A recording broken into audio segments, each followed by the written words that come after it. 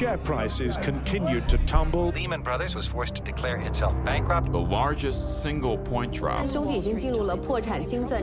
regulators, they had the power to do every case that I made when I was state attorney general. They just didn't want to.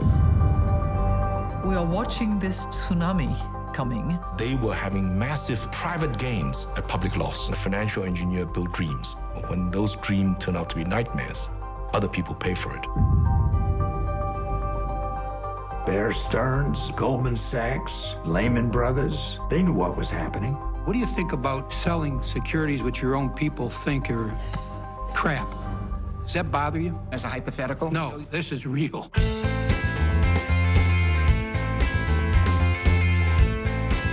What do you think of Wall Street incomes these days? Excessive. By 1986, he was making millions of dollars and thought it was because he was smart.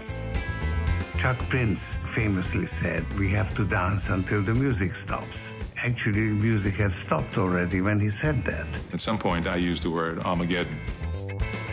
These people are risk takers, they're impulsive. I see a lot of cocaine use, prostitution.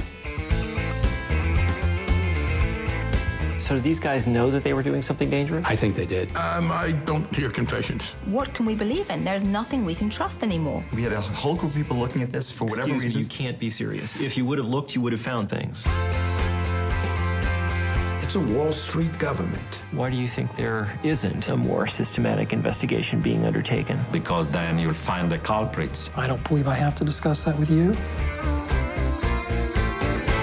You come to us today telling us we're sorry, we won't do it again. Trust us.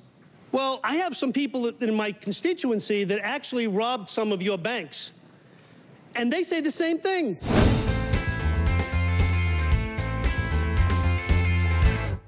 I never heard him mention those things. C could we turn this off for a second?